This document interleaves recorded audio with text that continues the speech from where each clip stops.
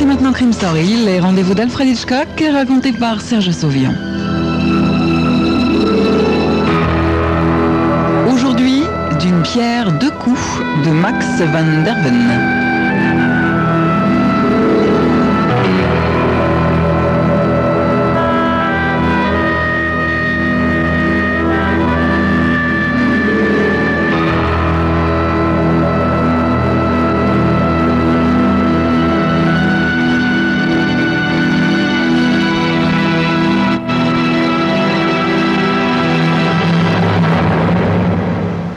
matin, il y en a qui sont café.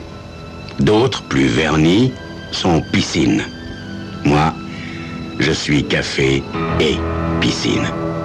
Cinq longueurs bien enlevées avant de m'affaler sur une chaise longue pour profiter du soleil de Californie et du parfum des orangeries. Rien de tel. Même pour un homme mort. Parce que, voyez-vous, c'est ce que je suis. Un homme mort.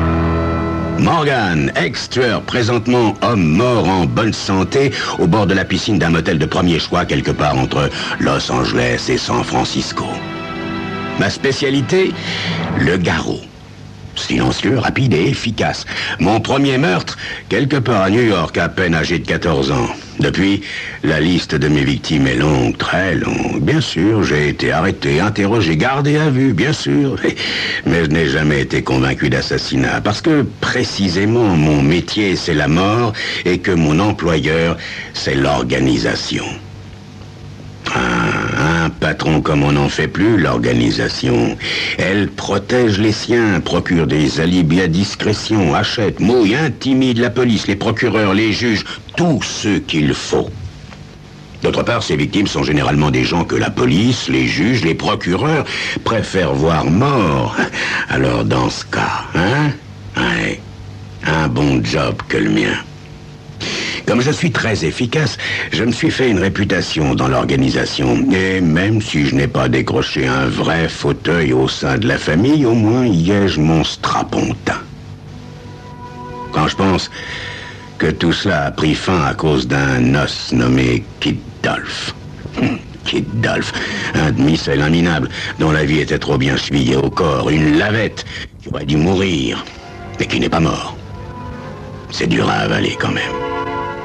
Quand j'ai accepté mon contrat sur lui, j'ai joué du garrot aussi efficacement que d'habitude, mais il faut croire que les muscles de son cou étaient en acier. Ouais, quand je l'ai laissé, j'étais certain qu'il était mort, Kid Dolph. Mais Kid Dolph a survécu. Aujourd'hui, il est paralysé. Ne pourra jamais plus dire un mot, rapport à son larynx broyé, n'empêche. Il est vivant.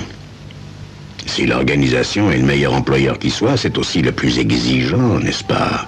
Or, après le ratage Kid Dolph, elle s'est montrée très chagrine, l'organisation. Vous pouvez me croire. C'est pourquoi, quand j'ai appris mon échec, je me suis posé quelques questions sur mon avenir personnel. À 32 ans, je m'estime trop jeune pour recevoir quelques pelletées de terre humide sur le corps ou pour disparaître au fond d'un marécage. Alors j'ai pris la tangente avant de recevoir mon blâme. J'ai couru vite, très vite, en zigzagant, en feintant, en fonçant, en revenant sur mes pas, jusqu'à ce que j'aboutisse ici, dans ce motel de luxe, perdu quelque part entre Los Angeles et San Francisco. Évidemment, c'est pas l'idéal, car nul endroit au monde n'est à l'abri de l'organisation, mais c'est suffisamment hors circuit pour reprendre souffle. Faut croire que j'étais très essoufflé, car il y aura bientôt huit semaines que je fais mes cinq longueurs matinales au bord de cette piscine. Tout ce temps sans ennui me rend l'espoir. Soit j'ai échappé à d'éventuels tueurs à mes trousses, soit l'organisation ne s'est pas donné la peine de lancer ses chiens. Au fond, Kid Dolph n'était peut-être pas assez important pour qu'elle perde son temps à vouloir supprimer un de ses tueurs de qualité. En supposant ça, je sais que je me raconte des histoires. Dans mon métier, la négligence est mortelle. Disons que jusqu'à présent, j'ai eu de la chance. Jusqu'à présent, parce que je vais bientôt me retrouver à court d'argent. J'en suis là dans mes pensées quand je vois venir vers moi Cathy Johnson, La maîtresse d'école du Middle West qui a décidé de se payer du bon temps grâce au si bon numéro du loto. Je l'ai remarqué tout de suite quand elle a débarqué il y a 15 jours au volant de sa superbe voiture de sport. Je pense qu'elle m'a remarqué aussi car depuis elle ne me quitte pas d'une semelle. Je serai le dernier à m'en plaindre car elle est belle, très belle, aussi belle que le péché. Cathy Johnson. Elle était bonne, la flotte, ce matin? Demande-t-elle en s'asseyant à côté de moi. Ouais, au poil. Et encore meilleur depuis que t'es là, ma douce. Elle me sourit en me caressant l'épaule. Hein? Il y a des moments où la vie est belle, n'est-ce pas? À propos, Morgane, ton ami t'a trouvé? Me demande-t-elle à brûle pourpoint. Un souffle glacial me paralyse. Hein? Quel ami? Je lui demande en espérant être désinvolte. Eh ben, ton ami Gordon. Il m'a arrêté à la cafétéria et m'a demandé où il pourrait te trouver. J'ai dit que tu étais au bord de la piscine. Il n'est pas encore venu? Le seul Gordon amical que je connais, c'est le jean du même nom. Je me sens soudain terriblement exposé, par exemple, dans la ligne de mire d'un fusil de haute précision.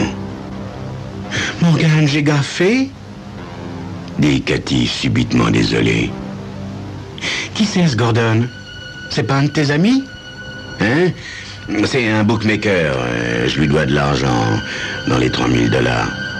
Je peux te les prêter, Morgane dit-elle, posant sa main sur mon avant-bras. Je hoche la tête en essayant de sourire.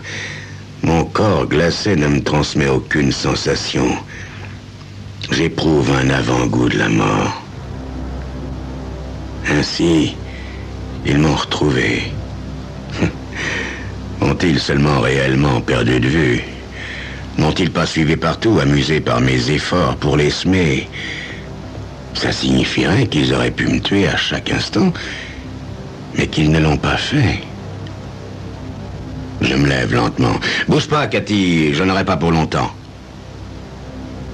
S'ils doivent me tuer, je n'ai pas envie de tomber en face d'une jolie fille au bord d'une piscine.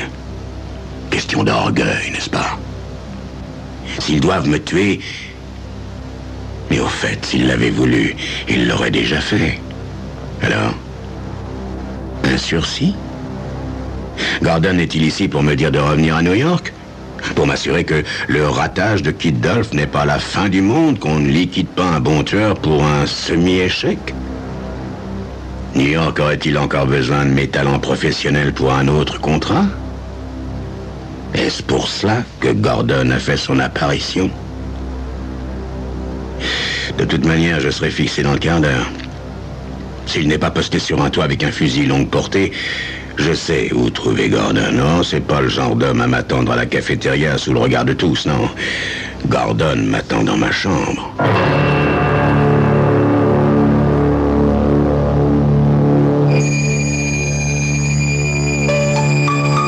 Le chemin de la piscine à la porte de ma chambre est le plus long que j'ai parcouru dans mon existence. Je crois savoir aujourd'hui ce que ressent le condamné en franchissant le couloir de la mort. Le bourreau m'attend-il derrière cette porte? Vous le saurez dans quelques instants.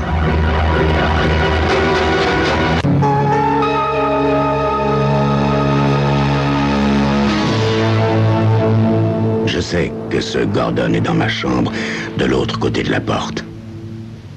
J'inspire longuement avant d'ouvrir, car c'est peut-être la dernière goulée d'air frais de mon existence. Je m'attends à encaisser la déflagration d'un coup de feu, l'ultime, celui qui répandra ma cervelle en éclaboussure. Oh, et puis à quoi bon attendre plus longtemps? J'ouvre grand la porte et j'entre, sans le moindre problème. Gordon est tel que je l'imaginais. Un type d'une trentaine d'années, net d'allure, vêtu sobrement. Il fume calmement une cigarette, assis près de la fenêtre du fond, celle qui donne sur un toit rouge dont la pente s'arrête à peu de hauteur du parking. L'issue de secours idéale, mais vaine dans le cas présent. Gordon me fait un signe de tête. Ses yeux sombres m'inspectent avec intérêt une seconde ou deux, puis redeviennent morts. Salut, Morgan. Nous allons amener un homme ici cet après-midi vers 4 heures. Il sera au numéro 7, rez-de-chaussée, de ce côté-ci. Tu pourras repérer l'emplacement tout à l'heure. Nous ne voulons pas que cet homme quitte le motel. Ah ah. Fais-je sans mouiller. Comme tu dis, Morgan.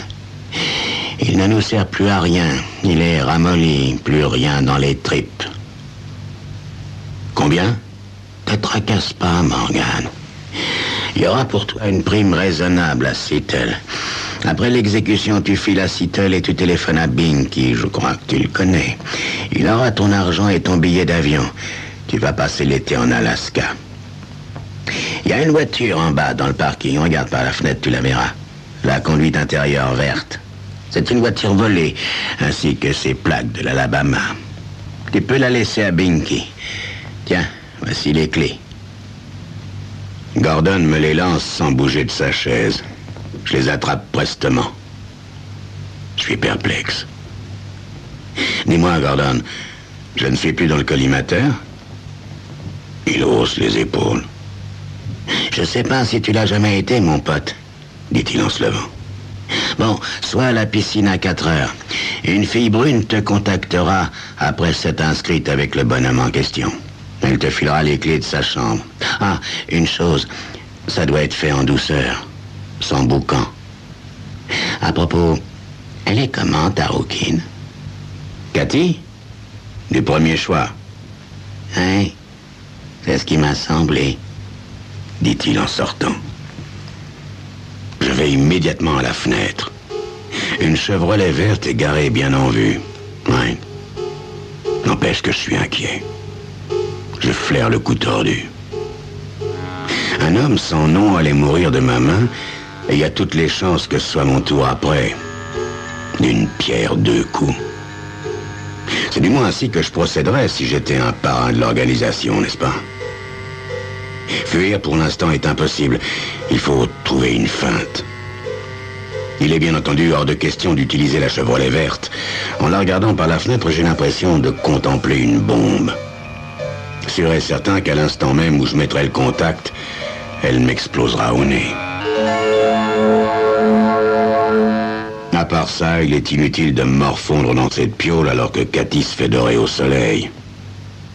Jusqu'à 4 heures, j'ai rien à craindre. En descendant, je revois la voiture de sport neuve de Cathy. Un moyen qui en vaut un autre une fois le contrat rempli. Si seulement je pouvais atteindre ne serait-ce que l'autoroute, j'aurais une petite chance. Une toute petite chance. Il serait temps ensuite de se faire de la bile sur mon avenir. Et si la voiture de Cathy était piégée aussi Personne n'est plus perfectionniste que l'organisation. Mais est-ce vraiment un problème? Cette hypothèse me rend soudain l'espoir. L'idéal serait que la voiture de Cathy fût piégée. Mais oui, l'explosion provoquerait un attroupement et rien de tel qu'un attroupement pour s'éclipser.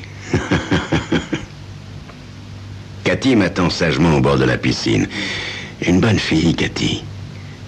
Je m'approche silencieusement et pose ma main sur son épaule. Comme je m'y attendais, elle sursaute violemment. J'ai obtenu un délai, mon chou. J'ai affirmé à Gordon que j'aurai l'argent en fin d'après-midi. Cela dit, j'aime pas qu'on me bouscule. Je vais fiche le camp d'ici. On part maintenant? demande-t-elle enthousiaste. Tu devrais peut-être continuer ton voyage toute seule, Trésor. Tout ça, c'est mes affaires, c'est moi qui me suis mis dans de mauvais draps. Il n'en est pas question, Morgan. Ok. Alors dans ce cas, écoute. À 3h30 cet après-midi, tu vas dans ta chambre et tu fais tes valises. Tu as 30 minutes pour charger ta voiture. À 4 heures pile, tu mets le moteur en marche et tu vas te ranger en face du numéro 7. Laisse tourner le moteur et glisse-toi sur le siège du passager. Quand je te rejoindrai, j'ai l'intention de prendre le volant. Maintenant, excuse-moi, mais il faut que je pense. Là-dessus, je plonge dans la piscine et fais le vide en moi. Il est exactement 4h moins 5 quand j'aperçois la fille aux cheveux noirs contourner le bungalow et se diriger vers le bord encombré de la piscine. Je me lève, m'étire et baille longuement. À tout de suite, Trésor. Fais-je à Cathy avant de partir. La fille est jeune, mignonne, brune et toute petite. Elle marche librement comme si elle n'avait aucun souci sur Terre, mais c'est une démarche étudiée, je le sens. Je m'approche, elle me sourit et me glisse dans la main la clé d'une chambre.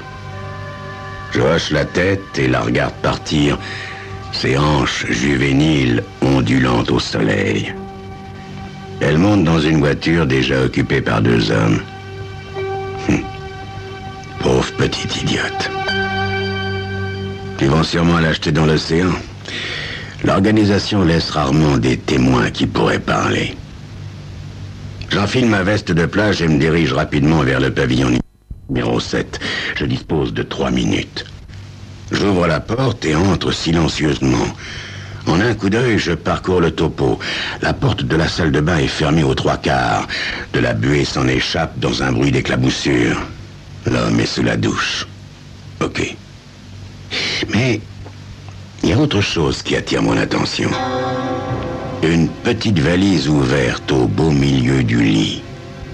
Je m'approche. Elle est pleine d'argent, des liasses de billets verts tout neufs, des billets de sang. Je ne touche à rien, pas encore. Ainsi, le cap sous la douche serait en cavale. Il a certainement nettoyé un de ses nombreux coffres de l'organisation. Pauvre pomme. Oui. Mais pourquoi la mallette est-elle ouverte au beau mi-temps du lit? Pourquoi la fille n'a pas pris l'argent avant de quitter le bonhomme, puisqu'elle savait qu'elle ne le reverrait jamais? Il n'y a qu'une seule réponse à ça. Elle n'est pas au courant. L'autre andouille aura posé la mallette après son départ pour lui faire une surprise quand elle rentrera. Je regarde l'heure. 4 heures pile et pas d'explosion. Je vais à la fenêtre. Cathy est là qui m'attend nerveusement dans sa voiture. Le moteur est en marche.